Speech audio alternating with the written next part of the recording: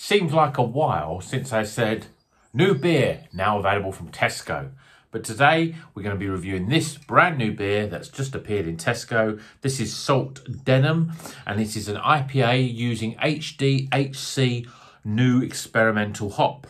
But what's it going to be like? Keep on watching to find out.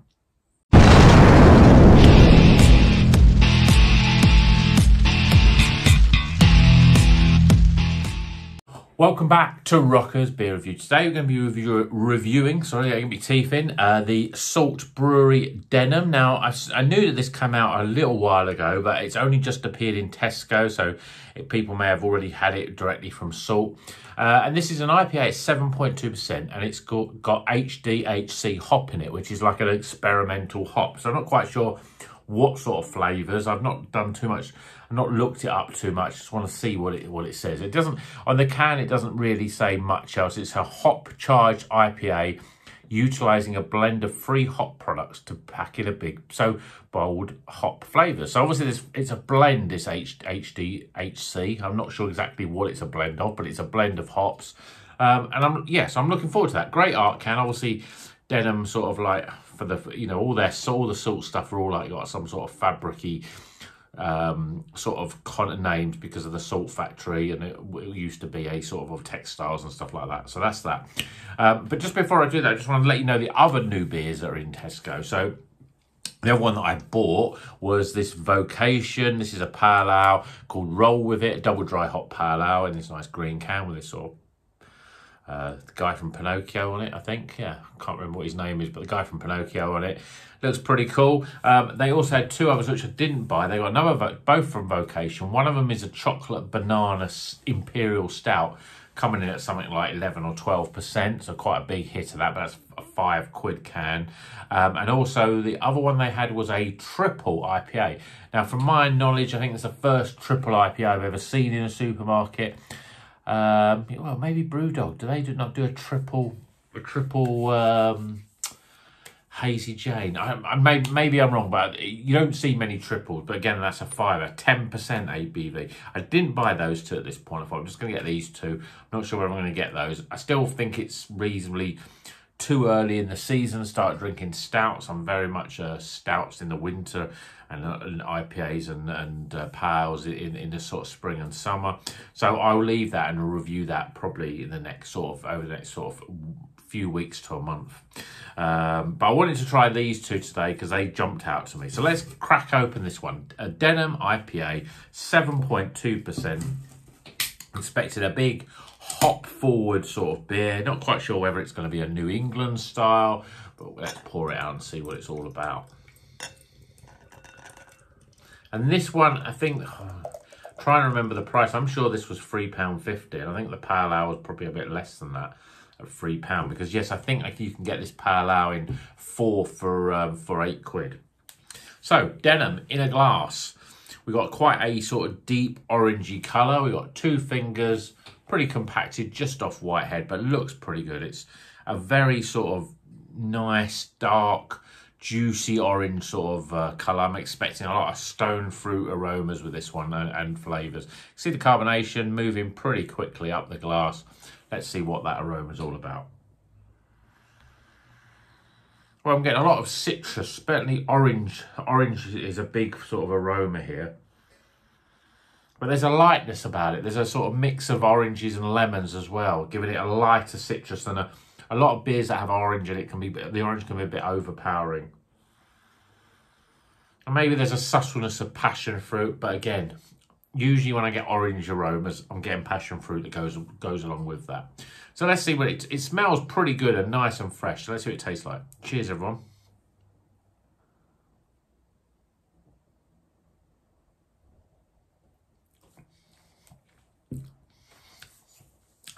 Great soft mouth feel.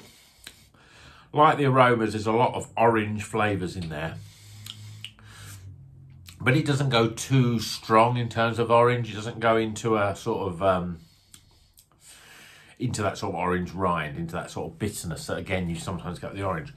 And it doesn't go that sort of marmalade sort of orange or the sort of the too piney pininess in there like you get with a lot of sort of West Coast sort of IPAs. So, so far, so good.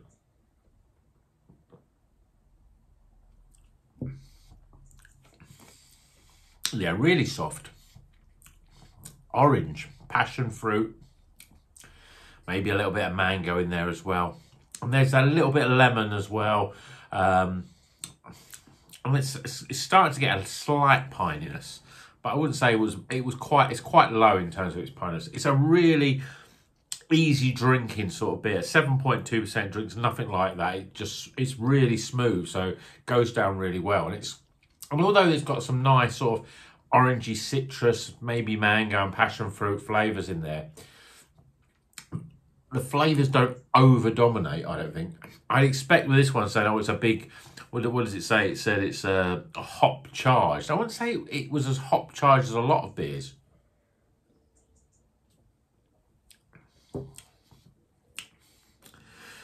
It's a little bit, you know, I'm trying to think of the ways to describe it. It's a little one note for me. So it's got some nice orangey sort of characteristics to it and passion fruit. Maybe I'm getting a little bit of grapefruit, but it's it's a very subtleness of grapefruit, as is the subtleness of le lemons. The lemon almost waters down that orangey flavours to make it too. It's not too orangey. Some beers can be too too orangey. It sort of it sort of puts takes the edge off the orange and gives it a lighter citrus flavour. But it's a pretty good beer, and for the price, you know, three quid. It's a again, it's what makes this beer stand out from a lot of the lot of beers is it's very very soft. So the mouthfeel is nice and it's got a slight creaminess to it. But it's like some of those other beers. The the vocation one that we had, the new one from Morrison's, the one with the Space Invader theme. It's got a similarity about that, but that was a little bit. I think that was a lot lighter. This one's got a more sort of medium sort of body. It's got a little bit more creaminess to it, which to me gives it the edge. It's a cracking beer. And it's a great new addition to supermarkets. So, Denim IPA, um, HDHC hop blend, which is not a hop, but it's a blend of hops. It seems we're getting more sort of these blends of hops now. We're not quite sure what's in them, but where you maybe get your sort of Citra, Mosaic and Simcoe, now you get this new thing that's like a blend that could be those three. I don't know what it is, where it's three new hops or or how it, how it works out, but you get more of these blends now and you get some nice, interesting flavours. So let's get some scores.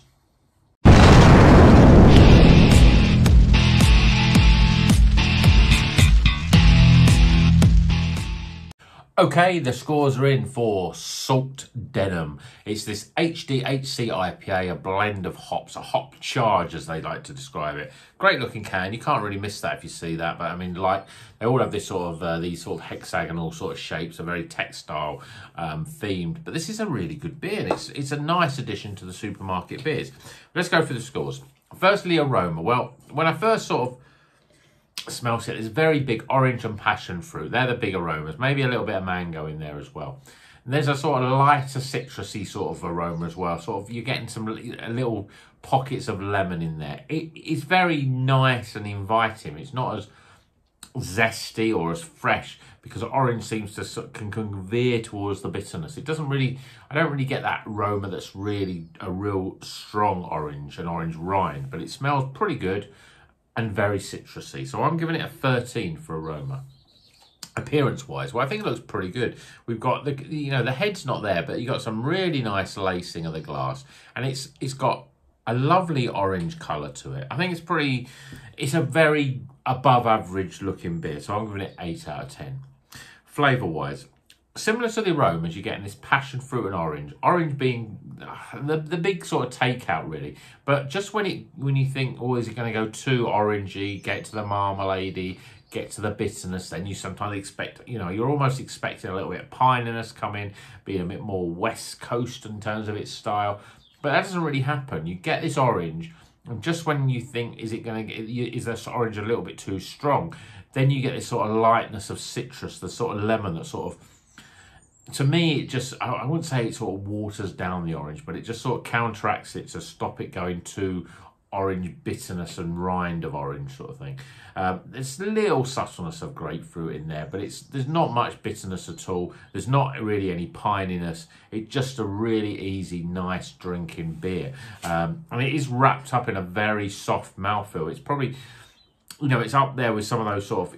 It's it's more surprising to me the mouthfeel when you get some beer which has got those all orangey flavors, but it is quite. It's almost got a slight orangey, creamy sort of um, um, mouthfeel to it. So I think it's pretty good. Thirty three, I'm giving it for flavour. Value for money, well, it's a, a supermarket beer.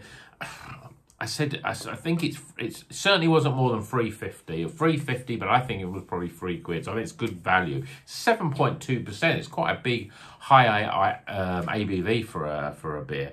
Um, so I think it's got a good value, and you know I think it's definitely worth picking up from a supermarket. So I give it nine out of ten for value. And then my overall experience, well, it's a very easy drinking beer. It does remind me a little bit of the um, the vocation trying to remember what it's called now. In fact, I'll, let me look through it. I'll probably better remember what it's called. Um, let me go through my scores. Oh, what wave after wave? I think that was called. Yeah, it was because of Space Invaders. It's it's similar to that, but it's I think it's it's slightly better because it's got a it's a, the mouth feels a little bit more creamier. Where I thought the wave after wave was a nice, easy drinking beer, but it was it was quite light. Uh, this one's got a bit more creamy. It's a bit closer to the alpaca, which is still my favourite salt beer in the supermarkets.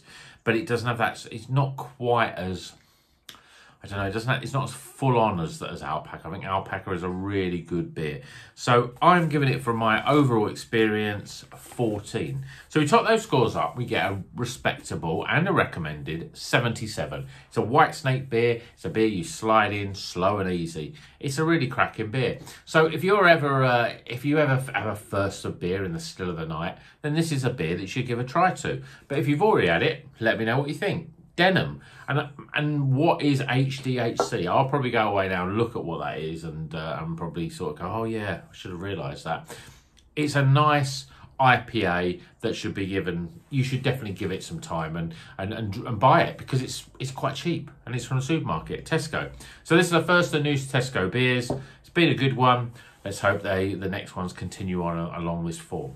And until the next one, keep on rocking.